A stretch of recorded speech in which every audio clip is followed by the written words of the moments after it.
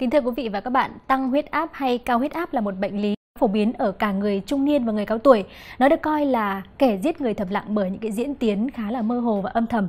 À, và người bệnh thì thường chủ quan cho đến khi là phát hiện ra những cái triệu chứng, những cái à, biến chứng của bệnh nguy hiểm như là đột quỵ não này, à, suy tim và, và hay là suy thận.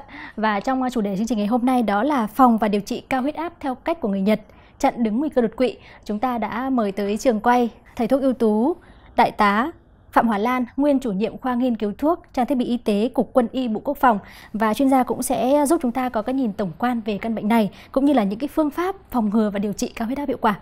Đầu tiên thì à, Mai Hương xin được gửi lời cảm ơn tới à, chuyên gia đã nhận lời tham gia chương trình ạ. Yeah, xin chào MC, xin chào, à, chào quý khán giả. Thì trong tất cả cái dòng sản phẩm huyết áp của Nhật Bản ấy thì tôi đánh giá cao nhất là cái sản phẩm mà hạ huyết áp các Cardio Nhật Bản.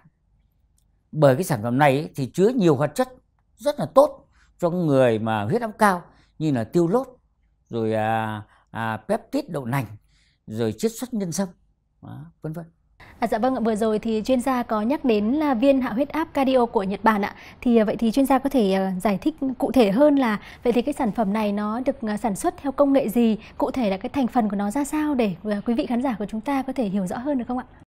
Cái ờ, viên hạ huyết áp cardio của Nhật Bản ấy, thì thứ nhất là công nghệ sản xuất thì hiện đại. Và và cardio thì đang ứng dụng một công nghệ bào chế là siêu nano tiên tiến nhất hiện nay tại Nhật Bản. Và nó giúp chiết xuất và các hoạt chất thành những siêu phân tử ở cấp độ là siêu nano và dễ dàng hấp thu vào cơ thể và đem lại cái tác dụng rất là nhanh, hiệu quả cao cho những người sử dụng.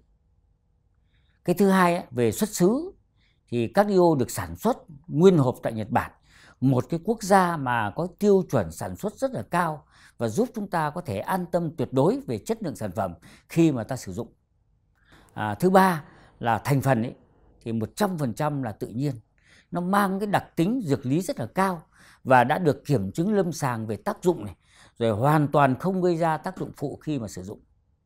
Các cái thành phần chính mà tôi đã kể ở trên như là tiêu lốt, à, piperin đậu nành, chiết xuất nhân sâm đều là những thành phần vô cùng tốt cho người bị cao huyết áp.